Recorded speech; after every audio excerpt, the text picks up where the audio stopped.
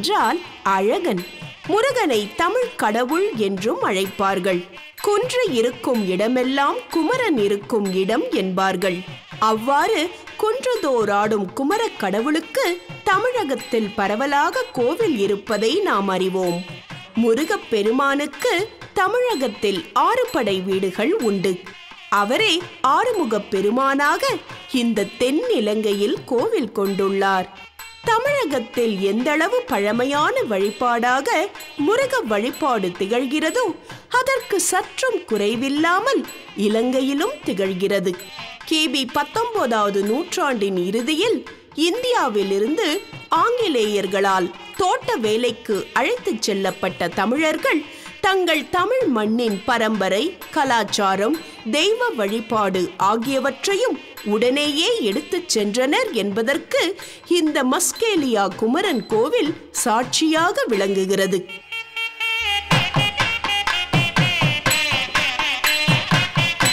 ஆம் இலங்கையின் மத்திய பகுதியான நுவரேலியாவில் மஸ்கேலியா என்ற இடத்தில் அமைந்துள்ளது ஷண்முக பெருமானின் இந்த கோவில்.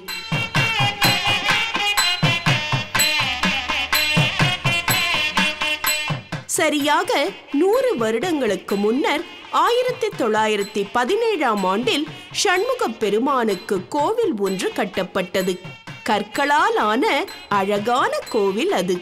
ஆனால் கோவில் இருந்த இந்த மஸ்கேலியா நகரில் வீடுகளும் கட்டடங்களும் இந்த கோவிலும் மூழ்கும்படியாக ஒரு துயரம் வந்தது.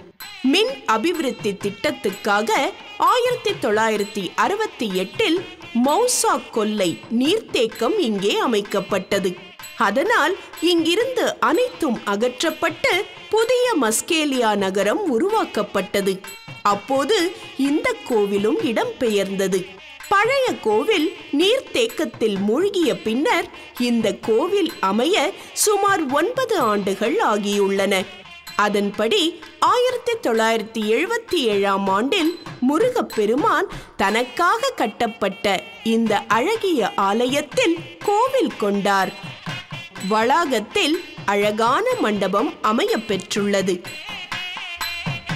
தூண்களில் சித்திர வேலைப்பாடுகள் செய்யப்பட்டு வண்ணமயமாய் திகழ்கிறது முன் மண்டபம்.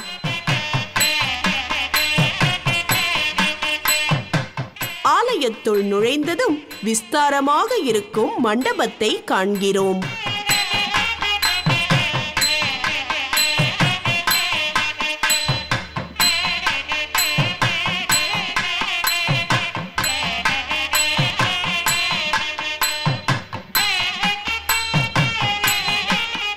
இந்த பிரம்மாண்டமான மண்டபத்தின் திருச்சுற்றில் விநாயகப் பெருமான் மகாவிஷ்ணு அம்பாள் நவகிரகங்களுக்கான சந்நிதி பைரவர் சண்டிகேஸ்வரர் முதலிய பரிவார தேவதைகளுக்காக சுற்று சந்நிதிகளும் அமைக்கப்பட்டுள்ளன.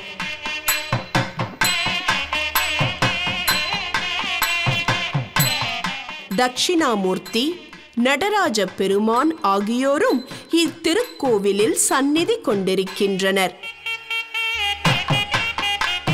அழகிய பூமாலைகள் சாற்றப்பட்டு பெருமான் தன் தேவி அம்பிகையுடன் வீற்றிருக்கிறார். அடுத்து இடும்பன் இடும்பி. ஆலய வளாகத்தில் சுவாமி ஐயப்பனின் திருவுருவம் அமைக்கப்பட்டுள்ளது. புலியின் மீதேறி சுவாமி ஐயப்பன் கையில் அம்பும் வில்லும் கொண்டு புலிப்பால் கொண்டு வர புறப்பட்ட அழகு கோலத்தை தரிசிக்கிறோம். தமிழகத்திலிருந்து வெகு தொலைவில் இருந்தாலும் சபரிமலை ஐயப்பனுக்கு மாலை போட்டு அதே விதத்தில் சுத்தமாய் விரதமிருந்து சபரிமலைக்கு வந்து தங்கள் வேண்டுதலை நிறைவேற்றிக் கொள்கிறார்கள் பக்தர்கள். சிறுவர்களும் இளைஞர்களும் குருசாமிகளின் மூலம் இந்த சண்முகநாதர் கோவிலில் அமைய பெற்ற ஐயப்பன் சந்நிதி முன் மாலை அணிந்து கொள்கிறார்கள். பாரம்பரிய கேரள முறைப்படி அமைந்துள்ளது இந்த சந்நிதி. ஆலயத்தின் உள்ளே பிரம்மாண்டமான மண்டபங்கள் இரண்டு இருப்பதை காண்கிறோம்.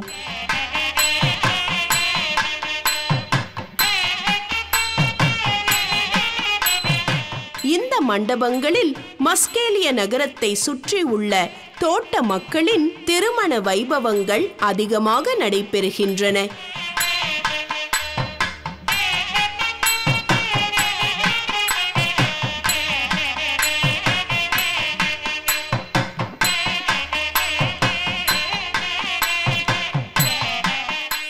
உற்சவ மூர்த்திகள் ஒரு சந்நிதியில் காட்சி தருகிறார்கள். அங்கே ஆறுமுகப் பெருமானின் அழகிய திருவுருவை காண்கிறோம். அடுத்து பஞ்சமுக கணபதி. நான்கு முகமும் நாற்புறமும் திகழ பெருமானின் இரு திருமுடிகள் மட்டும் முன்னே ஒன்றுக்கு மேல் ஒன்றாய் அழகாக வித்தியாசமாக திருக்காட்சி ஆகிறது. மூலவரின் கருவறை விமானத்தின் மேலே சுதை சிற்பங்கள் அழகுடன் திகழ்கின்றன.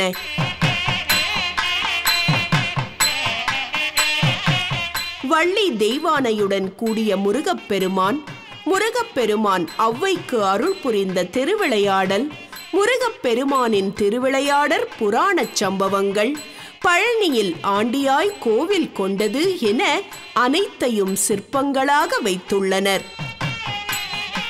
மூலவர் கருவறை விமானம் அழகாக திகழ்கிறது. சுந்தர திரிதள விமானம் என்று கூறப்படும் அழகிய மூன்று தளங்களை கொண்ட இந்த விமானத்தில் வண்ணமயமான சிற்பங்கள் அமைக்கப்பட்டுள்ளன.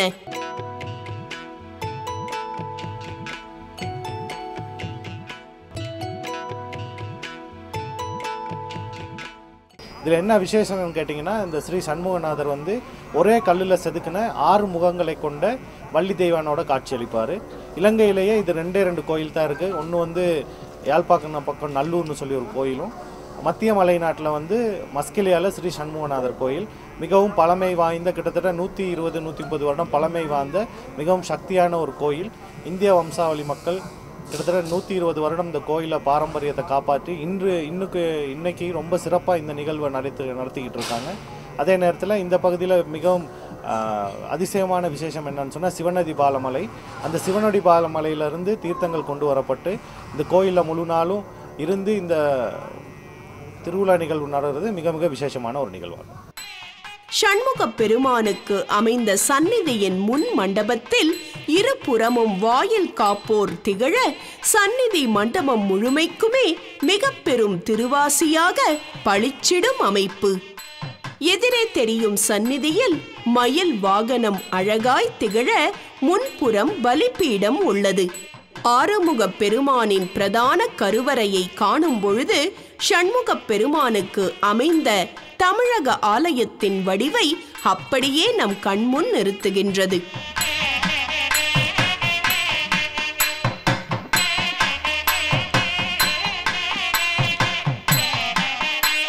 சண்முகப் பெருமானுக்கான சந்நிதியில் பளபளக்கும் திருவாசி வரிசையான விளக்குகள் அமையப்பெற்று பளிச்சிடுகிறது சந்நிதி.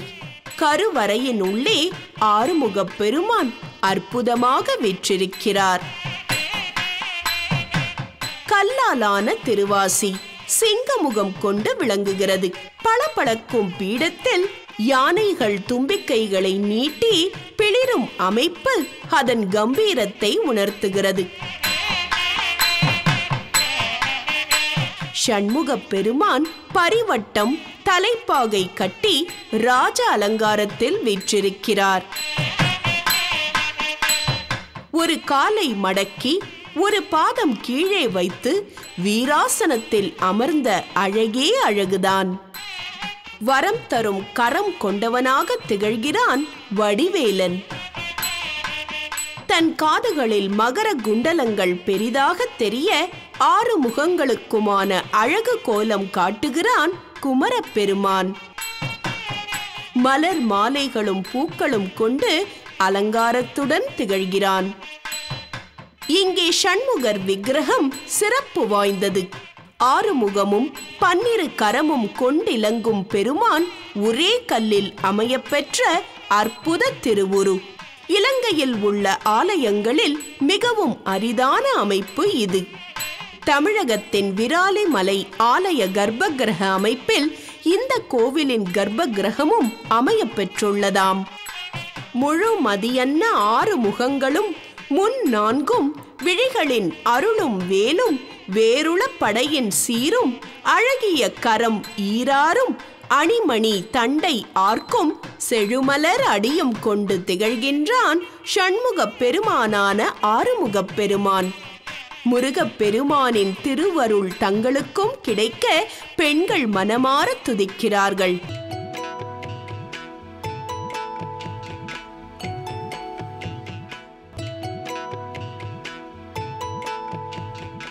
முழு மதியன்ன ஆறு முகங்களும் முன் நான்கும் விழிகளின் அருளும் வேலும் வேருள படையின் சீரும் அழகிய கரம் ஈராரும் அணிமணி தண்டை ஆர்க்கும் செழுமலர் அடியும் கொண்டு திகழ்கின்றான் ஷண்முகப் பெருமானான ஆறுமுகப் பெருமான். முருகப் பெருமானின் திருவருள் தங்களுக்கும் கிடைக்க பெண்கள் மனமாறத் துதிக்கிறார்கள்.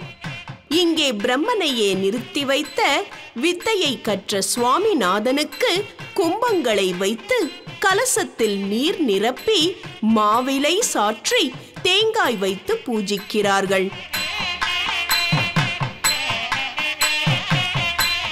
அவல் நெல் பொறிகளை இட்டும் சமைத்துகளை கொண்டும் ஹோமம் நடைபெறுகிறது.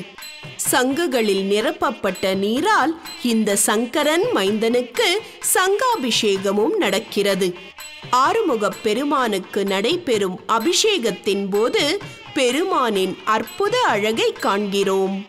பன்னிரு கரம் கொண்டு ஆறுமுகனாய் அழகிய கோலத்தில் பெருமான் திகழ்வதை கண்ணார கண்டு தரிசிக்கிறோம். குமரனுக்கு பஞ்சமுக தீபம் காட்டி தீபாராதனை செய்கிறார்கள்.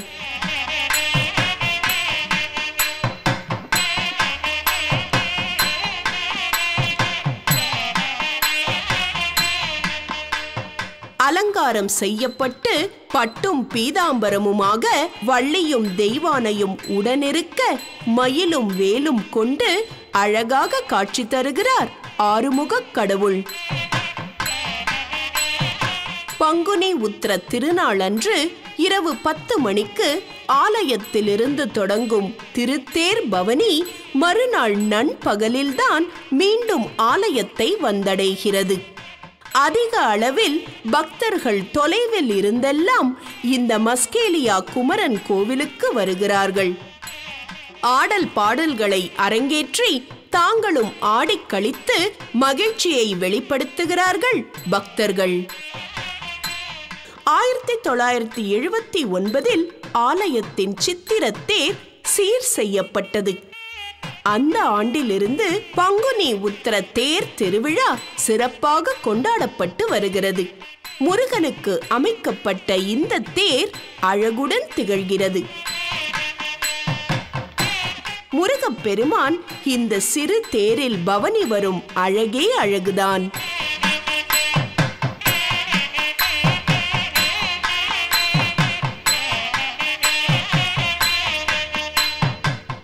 வண்ண விளக்குகள் மின்ன இரவெல்லாம் திருவீதி உலா வந்து பக்தர்களுக்கு அருள் பாலிக்கிறார் முருகப் பெருமான்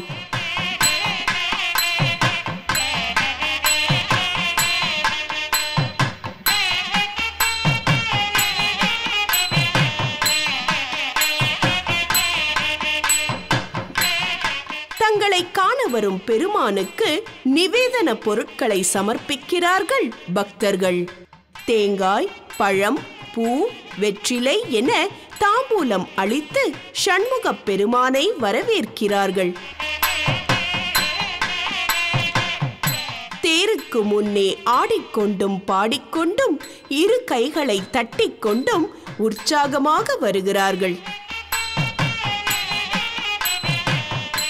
தெருக்களை அலங்கரித்து வீடுகளை எல்லாம் அருமையாக அலங்கரிக்கிறார்கள். எல்லாம் இந்த ஷண்முகப் பெருமானுக்குத்தான்.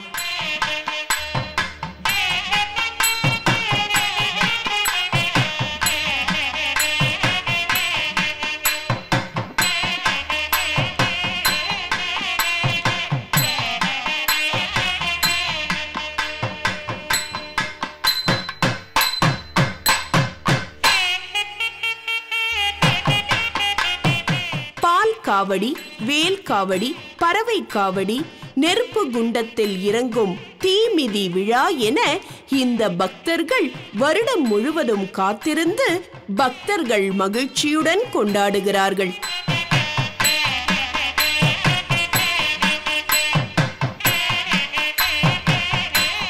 பொய்க்கால் குதிரை ஆட்டம் பொம்மலாட்டம் மயிலாட்டம் ஒயிலாட்டம் என தமிழர்களின் பாரம்பரிய கலை நயத்துடனான ஆட்டங்களும் பாட்டங்களும் தவறாமல் நடைபெறுகிறது. அறக்கரை அழித்திட அன்பரை காத்திட சிவபெருமானின் நெற்றிக் கண்ணில் தீப்பொறியாய் உதித்து கார்த்திகை பெண்களால் சீராட்டி வளர்க்கப்பட்டு அன்னை பார்வதியால் ஆறுமுகப் பெருமானாய் தோன்றிய இந்த ஷண்முகப் பெருமான் நம் எதிரியரை அடக்கி நமக்கு இன்னொருள் புரிவான். இந்த மஸ்கேலியா குமரக் கடவுளை வணங்கி அருள் பெறுவோம்.